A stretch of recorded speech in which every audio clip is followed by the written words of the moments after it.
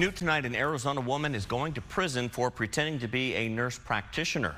A judge ordered 58-year-old Pamela O'Guinn to serve five years in prison. Investigators say that she first started going by the name Dr. Pamela Robinson three years ago when she worked at a wellness center in Youngtown in the Northwest Valley. She treated patients and wrote prescriptions. Investigators say O'Guinn used a stolen ID from someone in Maine when she applied for nursing certification in Arizona. The Arizona Board of Nursing started looking into her after she provided services to someone involved in a child custody case while claiming to be a medical professional.